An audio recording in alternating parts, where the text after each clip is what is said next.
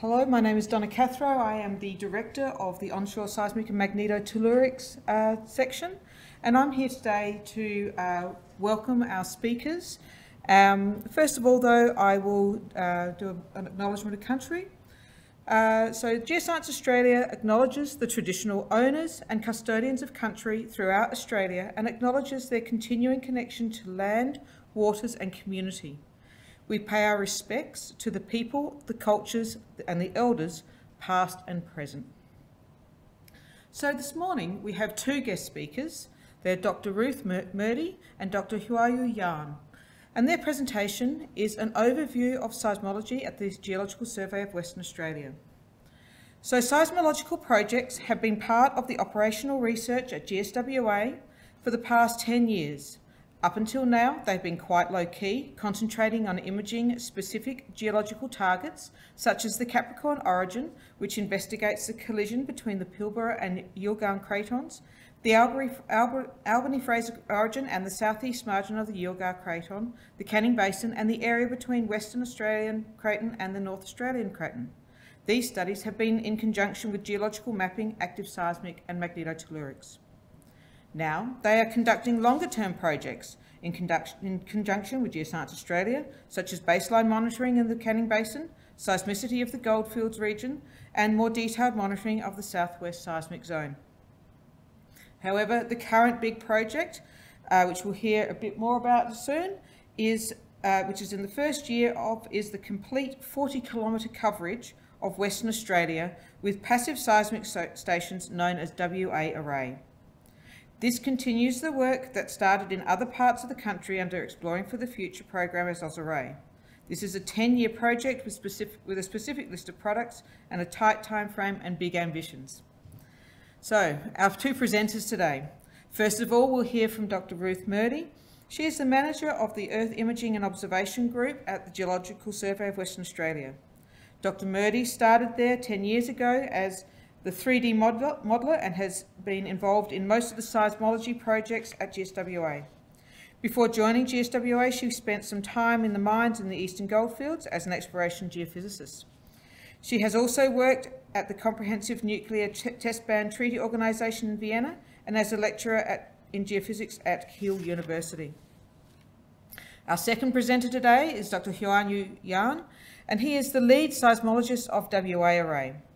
Since receiving his PhD in geophysics from the University of Wyoming in 2007, he has worked in the field of earthquake seismology in the Berkeley Seismological Laboratory at the UC Berkeley and Macquarie University.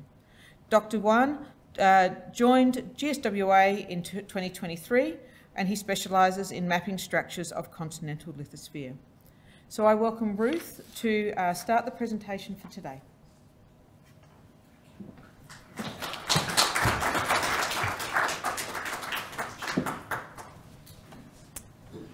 Thank you for your interest in the work that's going on in Western Australia. Um, this is a bit of a double act between myself and Huaiyu. Um, we've been working together for 10 years, so this is not all my own work. Um, you'll see how the teamwork has worked out. So, there are earthquakes in Western Australia. There's lots of them. Uh, you can see this is a plot of the earthquakes uh, in Western Australia over the past 10 years, and you'll notice there's a little Let's see, do I have a pointer on this? I've got a, can we see a, a, a cursor? If you can, it's up in the Broome area on the northwest shelf. That is a little hotspot that's been going off for a few, past few years. And the southwest seismic zone, the beta around Perth and to the south coast. I say, we have lots of them. This is the, you know, the distribution we're getting. And they're not all small. There are big ones, that, uh, ones that disrupt the railway line and the Great Eastern Highway.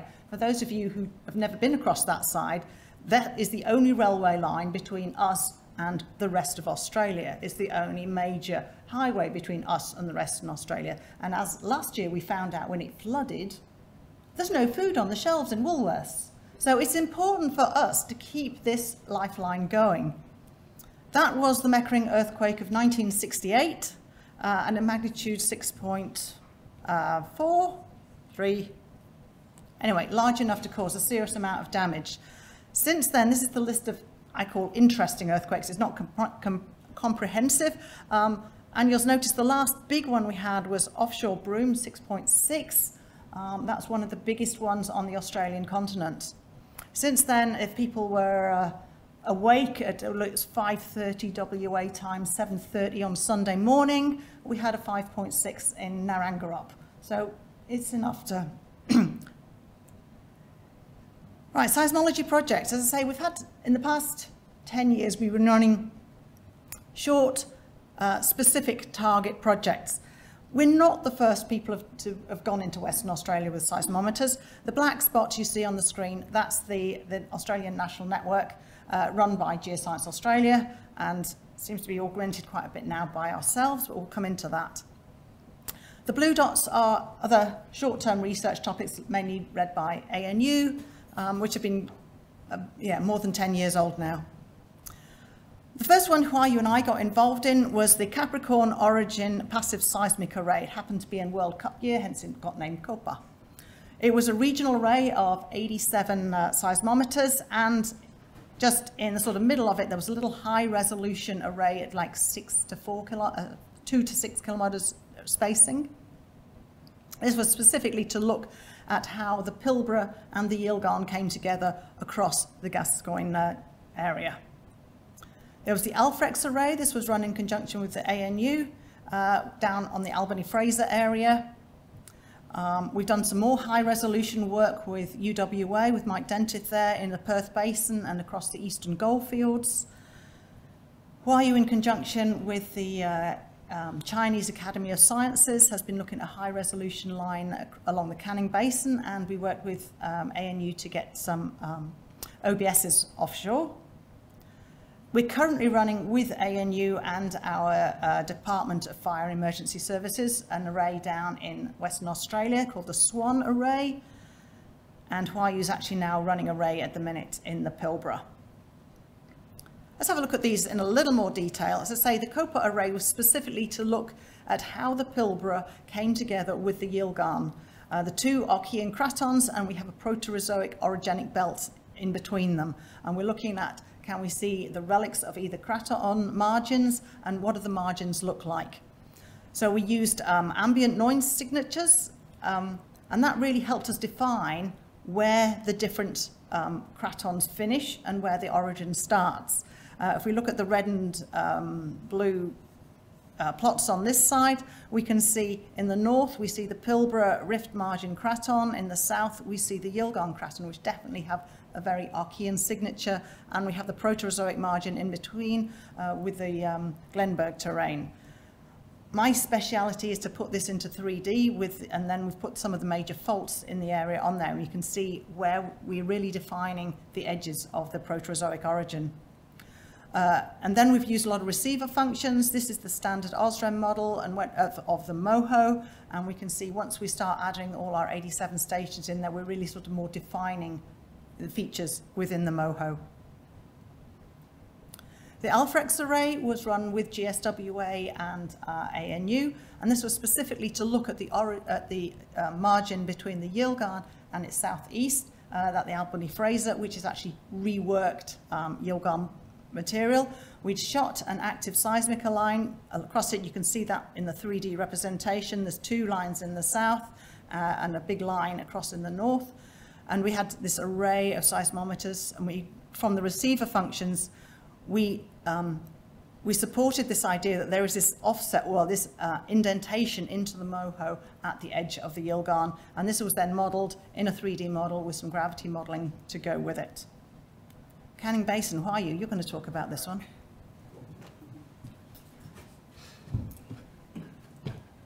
Okay, uh, thanks guys. So basically I'm just gonna show some um, modeling. So I'm on the modeling side of the project and these are more like uh, using conventional seismic um, uh, techniques to get uh, the, here the crustal structures.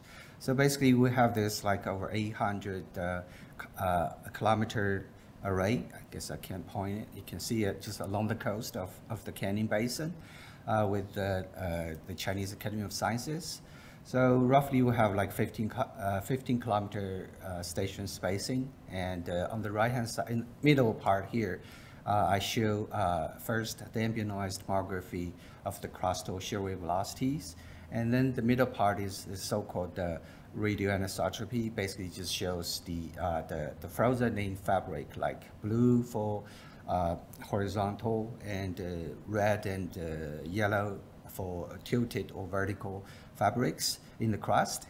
And then we have uh, conventional, uh, this is so-called CCP, common conversion point receiver function stacking, just to show the intracrustal um, discontinuities, like you see the Moho around 30 to 40 uh, uh, kilometer depth, and also a crocodile shape structure down there. And the bottom there is just to uh, compare with active source line shot in 14 or something like that. And then, okay, I have one more slide here. So this is the Pilbara railway deployed for the past two years. And uh, I guess at this time, I'm just going to show you um, on 13th of uh, November 21, there was this uh, magnitude 6 event, uh, which occurred near Marble Bar. That's that little uh, purple balloon. And then a visiting colleague uh, of mine just did a quick analysis uh, using the, I think the, for this one, it's the, um, uh, the arrival, let me think. it's the P and S uh, ratio and the, the initial motion of P wave, like the up and downs, to constrain the moment, the moment tensor solution here. So uh, the bigger one on, on the right-hand side, that's the, uh, that's the uh, uh GA solution. And then the small one on the map, that's from this local array. And uh, I'll come back later for the W, some of the initial W array results. So the interesting thing about that earthquake, which you didn't pull out, is actually really deep. It's about 36 kilometers deep. It's actually bottom crustal. And uh, because we had our array there, we actually picked up a lot of the uh, aftershocks, uh, which was really interesting. We're still analysing uh, more about that and see if we can bring more into the tectonics of what's going on in that area. The SWAN array, this is, I guess, with uh, ANU and our DFES, our Fire and Emergency Services, and we're trying to investigate the structure of the Yilgarn Craton. This is intraplate seismicity. There's no particular reason why we should have so much seismicity within the Yilgarn. Uh, and we're also obviously trying to work with the fire, fire and emergency services as to how we should appropriately respond because they have nothing uh, in their procedures as to what to do in an earthquake other than go and look at it. So while we've had the SWAN uh, array down, we had, uh, I think it was 5th of January last year, we had um, magnitude uh, 4 in Arthur River, which is a tiny little group of farms down in um, southwestern Australia. Uh, and it was big enough to register on the national network. And we had obviously the SWAN network down there, so we were able to actually uh, locate the, um, the events much more clearly. As we can see in this picture here, um, the green ones are the GA uh, locations, and the blue ones are our locations. Now, this actually is 10 kilometres difference. What does that mean? Well, it meant to the farmer that actually had his house right on top of the area and he'd got big cracks in his ceiling and he went to his insurers and say, this earthquake is causing me cracks in my house. And the local guy says, of course it did. I shall take it to the office and get you your compensation. Well, they took it to the further up office and so they went online, saw the GA solution and said, it was more than 10 kilometres away. Of course, it can't have been caused by the earthquake. So he came back to us and said, what can you do about it? I said, well, here is our locations, and we could say why our location in this uh, instance was better. And luckily, somebody had actually downloaded the INSAR and showed that there'd been a two centimetre uplift uh, displacement in that area. So that's the, the pictures at the bottom is the INSAR displacement. So we were working actually with GA, because I think Dan provided those for me. And we continued, obviously, to monitor that. That uh, swarm went on for like 15 months. Um, so Okay, the top one in green again is GA, bottom one is our locations. GA get bored if it's below two, magnitude two, it's like too many of them, won't bother. But the main difference is you'll see ours are much way more clustered. I mean, this is basic seismology. If you've got more stations closer in, you're going to get more accurate um, locations. I was having a mess with this and trying to see if we got such good locations, can we actually see a fault plane? Uh, so the, the, geomet- uh, sorry, the geology here, you can see by the magnetics uh, down below, we've got a lot of um, north, west, south, east dikes. Most of that fabric you see in there is dikes, but if you see the offsets in it, the actual faulting in the area is north, east, south, west. So I put this into 3D, spun it round, and it looks like a fuzz. Sorry, no big punchline there. Couldn't see the uh, fault plane. Okay, some of our longer term projects, and we, we'd like to run these for about 10 years ago. Um, when we started this, it was only myself at GSWA, and so they were it's incrementally grown bigger. And I uh, was talking to Hugh at one of the conferences, and he says, I've got a bit of spare equipment. Well, I don't know how I managed to ask him this, but somehow we established that there was some retired equipment at GA that we could trust how the interaction between GSWA and GA worked if I could put some of the equipment in some of the interesting places that Hugh would love to get to, but it's just too far away for him to uh, come across. Uh, if I could get data into, the net, in, into his um, monitoring system for him.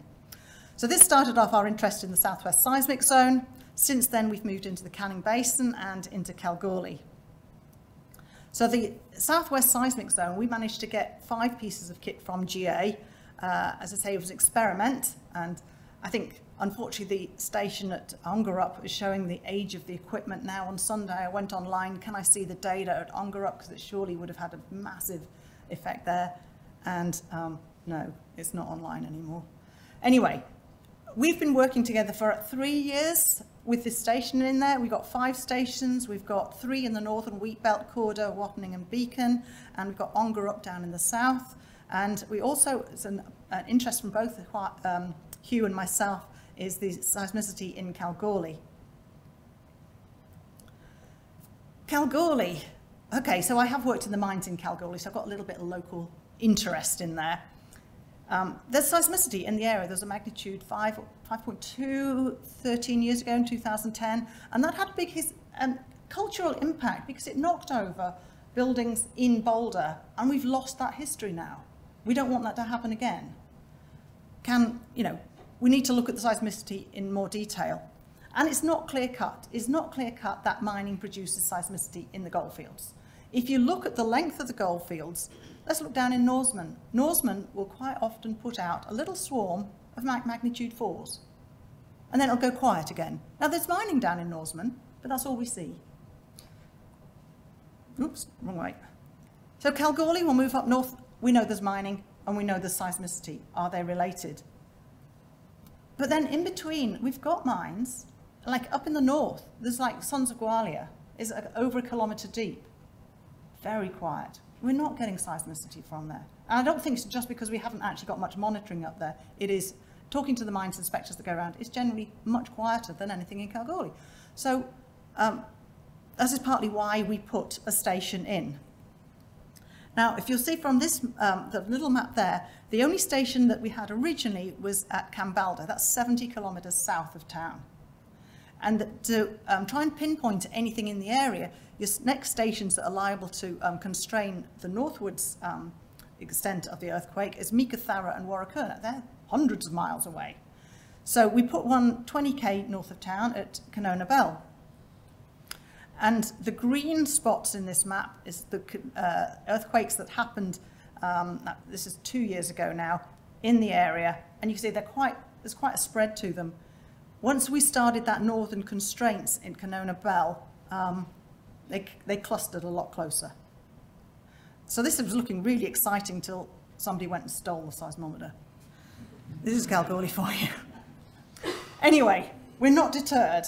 Um, we're back in the region. We're currently running uh, five more stations. So we've got one up at Menzies, um, we've got one in Coolgardie, we've got one right in Hannan Street in a cellar, and then we've got two more stations on, on pastoral leases, which have been running, and you'll see from the, an event at 1.7 a couple of weeks ago um, that these stations are picking it up. They're locating it pretty nicely. Um, the something we're suffering from is Telstra.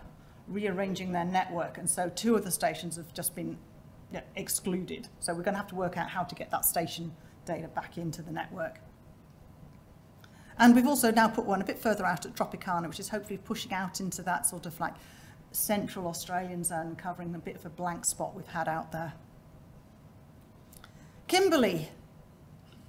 Um, you'll see the little pink squares on the map. These are petroleum licenses. And so some of them are actually active. I know that Buru are currently um, pumping hydrocarbons out of that area. But this is one of the political hotspots um, where people have asked, can they frack? So at, at the stage we were developing this, um, there were two applications in to put in test wells for fracking.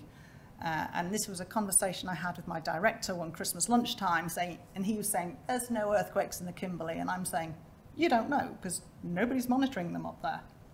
And so that said, his response to that was, I want a proposal on my desk next week, please. So anyway, this has ended up with 12, we've added to the stations already up there, another 12 stations, which again, GA are hosting for us. Um, so we're doing baseline monitoring. We are not monitoring fracking because there is none yet. We will not monitor it with this network. It's incorrectly spaced. But we want to establish what the baseline seismicity is so that if fracking happened, we can then compare when, and where and how.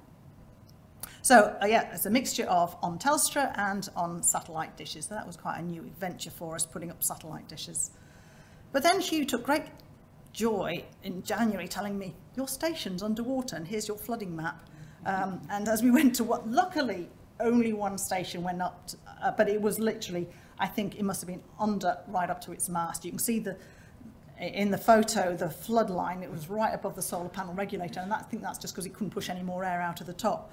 Um, we're looking to move that station. However, credit to the people we uh, got the equipment from, the digitizer uh, worked as soon as we put more power on it. So anyway, something to be aware of. So what we're trying to do is, uh, as part of a GSWA project, so it's not just myself, um, we have been trying to put all the data coming in from this, especially the MOHO, that's one of the obvious things to put in, is um, build a 3D model and then put all our data into these 3D models. So we have, um, with GA, shot a lot of active seismic lines. So this data has gone in, that's all your, your little lines on the, the top left corner there. From that information, I have then put in the major crustal boundaries, which is your blue um, lines there, trying to get the appropriate um, dips and strikes. And it's amazing how geologists think in two dimensions, and when you put it in a third dimension, something doesn't quite work. So we had a real good brainstorming across the whole um, survey to get this model to work.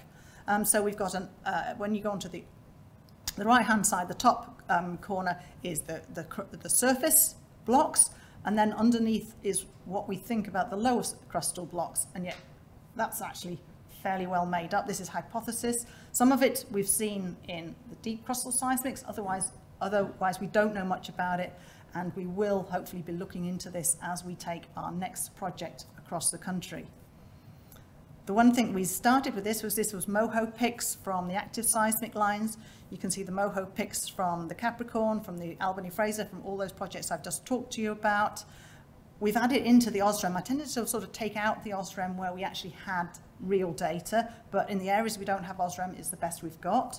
Uh, and so we've built a MOHO model and hope that fully, as our next project moves through the um, state, it will become more detailed. Here we go. This is the new big exciting project at the WA Array.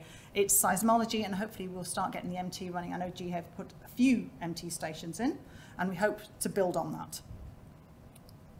So a lot of WA is undercover uh, and there's this big push for new mines, for um, minerals that will help us transfer into a zero carbon economy. Um, so we need to look at the whole mineral systems theory. Uh, we need to look undercover. And this is not a new thing. It's building on as AusArray stations and other seismic monitoring that's been done in the rest of the country. And I won't get into my little political high horse, but as usual, when it comes to WA, we sort of do it ourselves. I don't need to go into the why we need to do it. You guys have, uh, you know, GA was instrumental in, in this theory that 85% of um, mineral deposits sort of lie within the gradient in the lithosphere.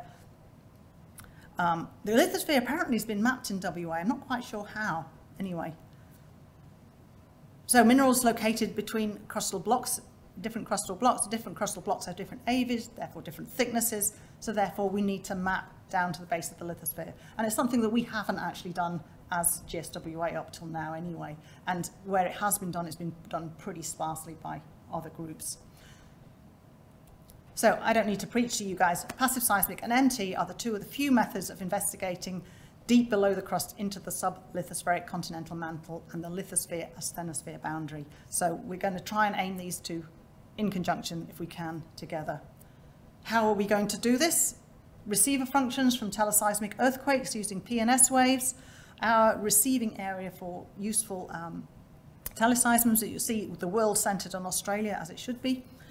Um, we got a lot of earthquakes obviously happening around the north of Australia and down around the, um, the east and the southeast. And then there's little bits of uh, um, seismicity happening along the south and the west. So we have to take what we can there. You know, Australia is where it is. And we can just see, this is the, the actual receiver function arrivals is from our high resolution array in uh, the Capricorn Orogen. And we can see the different arrivals coming through and how we managed to pick our, our MOHO depths from that.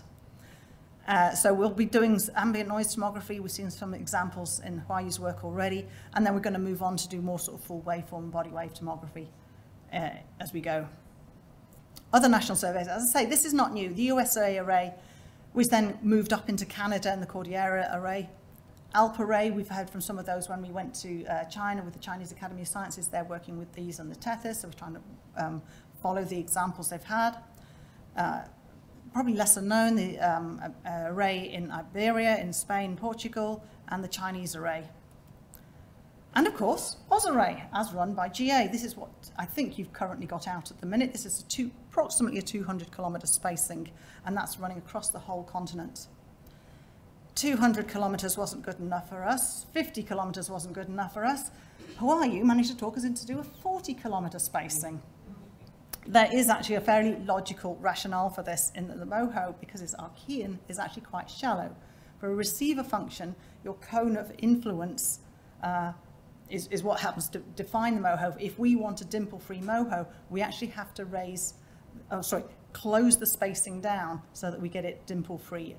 As you can see, this is an example from our data in the Canning Basin, from our Canning array, where you've got about a 40 kilometre uh, array we can get a dimple-free moho. The footprints actually overlap. Once you spread it out to about 50 kilometers, you're sort of getting gaps between. So therefore, we've closed it down. I wasn't particularly amused because my original calculation of 50 kilometer spacing, which a lot of the other AusArray or your Beetaloo areas have been using, um, that would have given me 950 points. We're now up to 150 points we have to cover if we are going to cover the whole state at 40 kilometer spacing, which is our aim. We've set out doing that. Let's hope we get there. So this is a long-term project. We are currently in the southwest. This orange area down the bottom is where we have 165 stations at the minute. Luckily, there's a high density of the national network stations, so that was a bit easier for us. Um, so we split the area, the, the state into nine regions, and we'll progressively move across the state if we can. Next year, we will move into the green area, the Goldfields to Geraldton region. And then things start to get really interesting as we head into the pink area in the central east, which is mainly desert. So this is a 10 years. It's really ambitious. This is my time frame. Uh, this is the, the, the areas on the side, and you'll see the green is when it's in the field, the blue is when we're going to do the process, and we're going to run through. It is our aim to make sure this data becomes public. So our team is going to really nail some basic products which will come out with the report and the data after one year. That is our aim. There won't be much finesse and the tectonic models will flow later, but the data will be uh, available to people to do their own computations and calculations on it and to come up with other things. We hope you'll work with us in doing that. So our equipment is, is quick, quick installations. We've got just a little um, seismometer. Our vault is actually a terracotta pot with a tube over the top of it power supply is a little battery with um, solar panel. It's all standalone, So we're running around after six months uh, to pick up the data and then again. So we, we are worried about loss of data. So that's partly why we've done it close to us. We actually went out after three months just to check how we were going. As a team, this is our first big high profile array. We're doing all right. We're getting about sort of 88% data retrieval, which I was actually really happy with. WA, some of it's really nice. This is one of my lovely stations with, uh, it happens to be in springtime with the, uh, the, that's not buttercups, little yellow flowers. It's a really pretty station up there we can drive in. Other ones, uh, certainly when we get to the desert, we're going to be flying. And in WA, that could be as much as 50% of the total WA Array stations. It's going to be fun. So as I say, we're going to have the, the instruments on the ground for one year. We're going to go around every six months to pick up the data. The data QA, QC is going to be very important. Uh, standard products pushed out once a year, and the uh, data will also be available at the end of the year. And then we will work with people and internally with our own geologists to put out more tectonic models. Products, what sort of things are we going to try and aim to put out? Cover thickness, depth to MOHO, lithospheric thickness, various crustal wave speed models, uh, we can hopefully get a strain map and the local seismicity and catalogue. That's our sort of basic list of products. And they'll just be issued as a digital layer through our GeoView uh, portal. As I say, phase one has gone in. Uh, that went in in December and will come out this December. Just a couple of nice pics. Um, we are integrating with the AusArray. We're trying to coordinate, and currently we're actually looking after 11 of their stations. It is what they call a Portuguese house of an array, which means we've got seven different types of seismometer and digitizer. And that's just, uh, we just got the money really quickly and we had to scramble to get whatever instruments we've got. So we are trying to do a huddle test um, just to try and calibrate things. And Huaiyu's brought up some interesting issues with calibration just to make sure all our calculations are based on the same level. Um, calibration test isn't actually going that well at the minute because you see, you see it's, it's parked on carpet, which is just horrendous. Anyway, we'll move on. We will. One of the important things about the QA/QC on this is to try and make sure all our instruments are giving an appropriate uh, response. So we've had, we're in, entering negotiations with GA as to whether they could possibly leave out some of their AusArray stations for the duration of WA as a sort of backbone. So you'll see um, the green areas here is what is available by Telstra, to put things on Telstra. Of course, all the one, uh, stations I want to keep are the orange ones, which are nowhere near the green areas.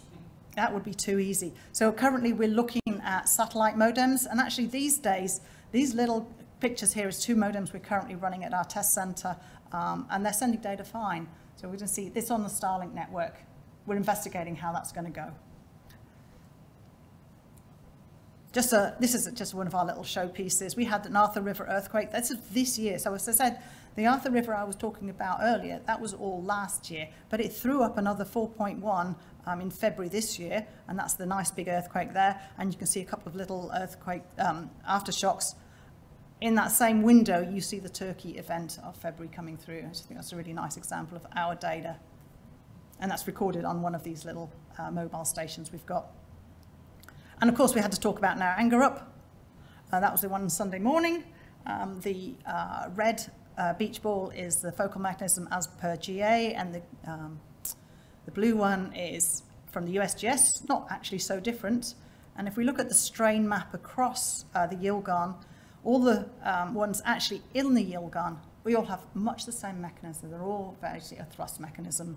You'll see the ones down in the Albany Fraser, that's the black spots, they tend to be a bit more strike slip. Um, anyway, it's good, it conforms, it's nice. Right, who are you? You can talk about this.